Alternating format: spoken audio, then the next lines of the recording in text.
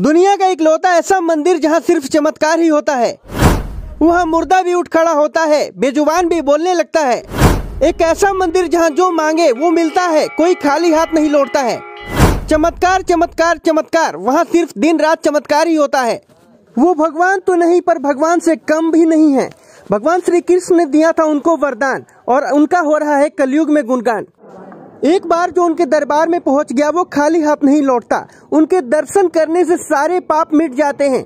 वो जिसको चाहे उसको मालामाल बना देते हैं। उनके बिना इच्छा के उनके दर्शन कोई नहीं कर पाता। वो जिस पर कृपा कर दे वो रातों रात करोड़पति बन जाता है। श्याम बाबा मंदिर के लोग महाभारत काल से जोड़कर देखते हैं। इसकी मान्यता पांडव पुत्र भीम के पौत्र बर्वरिक से जुड़ी है। कथा के अनुसार वीर बर्वरी ने अपनी माता से महाभारत युद्ध देखने की इच्छा ज़ाहिर की थी। कौरव के सौ और पांडव के पाँच योद्धाओं के बीच युद्ध में उसकी माँ को लगता था कि पांडव हार जाएँगे।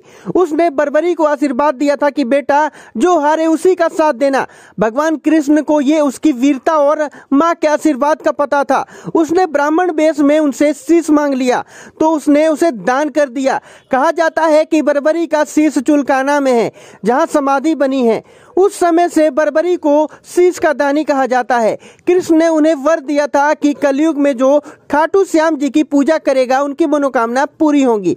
दो वृक्षों का इतिहास पौराणिक मान्यता है कि कुरुक्षेत्र हरियाणा के ज्योतिषर तीर्थ स्थित बरगद के पेड़ के नीचे भगवान श्री कृष्ण ने गीता का उपदेश दिया था।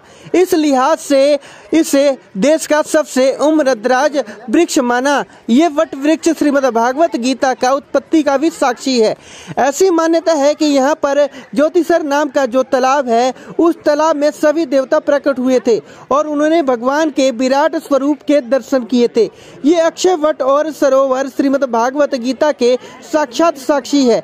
हर बार कुछ नया। इस बार बता दें आपको वृंदावन ट्रस्ट पानीपत हर बार कुछ नया सृजनात्मक सोचता है और उसको अंजाम भी देता है। वृंदावन ट्रस्ट के संरक्षक विकास गोयल ने कहा कि वृंदावन ट्रस्ट हर बार कुछ अलग और नया सोचता है और उसको करके भी दिखाता है। इसी श्रृंखला में वृंदावन ट्रस्ट ने इस बार हरियाणा प्रदेश के दो वृक्षों के बीच में यात्रा निकालने का निर्णय लिया है।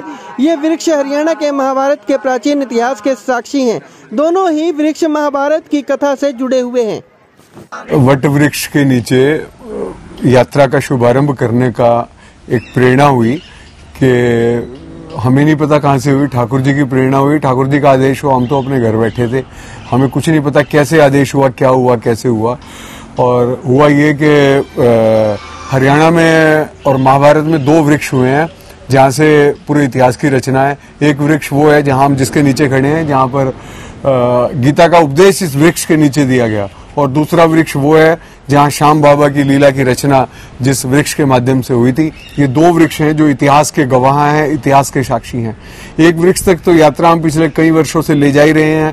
पहले वर्ष ग्यारह हज़ार की यात्रा ले गए थे, फिर चौदह हज़ार की, इस वर्ष इक्कीस हज़ार का लक्ष्य है। लेकिन अभी जो ये है, हमारे अध्यक्ष मोदी का, राकेश जी, सचिव हमारे हरीश जी, और ये हमने तय किया कि जो ठाकुर जी की प्रेरणा हुई है भगवान विष्णु की प्रेरणा हुई है कृष्ण जी की प्रेरणा हुई है कि इस वृक्ष से उस वृक्ष तक की यात्रा निकले उसकी घोषणा आज की गई उन्होंने पहली शुरुआत फ़ोन की फ़ोन बुक लेके की जिसमें 32 मेंबर की पहली यात्रा गई 2014 में। हम्म। आज वही आंकड़ा लास्ट ईयर सोलह सत्रह हज़ार शाम प्रेमियों का आंकड़ा जुड़ चुका है। और जैसे अब भगवान ने प्रेरणा दी है कि शायद इस बार इक्कीस हज़ार का आंकड़ा बहुत जल्द ही छुआ जाएगा। इस बार ना यात्रा में जो अभी यहाँ श्रद्धेय श्री स्वामी ज्ञानानंद जी महाराज ने जिस परंपरा की शुरुआत की, हमारे तो मस्तिष्क में भी नहीं था वो, जो उन्होंने किया है, आज, जो निशान है हमारा, उसको चुलकाना धाम जो जाएगा, उसकी मट्टी, यहाँ जो गीता धाम की मट्टी है, जो गीता स्थान की मट्टी है, जहाँ से गीता का उपदेश हुआ, जिस रजकर्ण में कृष्ण बसते हैं, उस मट्टी का तिलक आज हमारे उस निशान को लगाया जो निशान वहाँ उस वृक्ष तक पहुंचेगा और ये आप ये समझे कि ये वट वृक्ष से लेकर कल्प वृक्ष तक की यात्रा है जो अपने आप में अनूठा होगा। महाराज जी ने यहाँ कुरुक्षेत्र में ज्योतिषर में और जहाँ पर कृष्ण भगवान ने गीता का उपदेश दिया था अर्जुन को वहाँ से आज श्री ज्ञानंद महाराज जी ने इस, इस डेट की घोषणा की है। ये वृंदावन ट्रस्ट का सौभाग्य है कि आज यहाँ पर इतने सारे श्याम प्रेमी पानीपत के सामाजिक और धार्मिक संस्थाएँ पहुँची। हम वृंदावन ट्रस्ट के साथ ही आज जोड़कर सभी श्याम प्रेमी से निवेदन करते हैं कि आप सभी दो मार्च को चुलकाना धाम हमारे साथ चलें। वर्ष पूर्व यहाँ भगवत गीता का उपदेश, जिस धरा पर हुआ, जिस वट वृक्ष के नीचे हुआ ऐसा क्षेत्र, कुरुक्षेत्र धाम, जहाँ से आज पानीपत वृंदावन ट्रस्ट के सौजन्य से सभी संस्थाओं के सद्भाव से जो एक यात्रा चुलकाना धाम, कल्प वृक्ष जहाँ एक दिव्यता प्रकट हुई, एक बाण के द्वारा पूरे वृक्ष के पत्तों को बिंदे जाने की।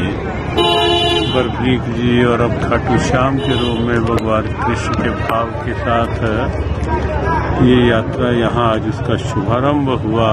ज्योतिषर धाम से कुरुक्षेत्र धाम से वट वृक्ष की छाया तले हमें लगता है कि जैसे वट वृक्ष छोटा बीज विराट वृक्ष की रोक लेता है तो यह एक संकल्प जो है वो आस्था का एक विराट वृक्ष बन करके सामने आएगा। हमारी बहुत बहुत हर जी आप भी हिस्सा लेंगे इस यात्रा में? हमारी सद्भावना तो सदैव वृंदावन ट्रस्ट के साथ ही है। के की जय। तीन बाणधारी की जय। बोलो बाके। बिहारी लाल की जय। राजा रानी सरकार की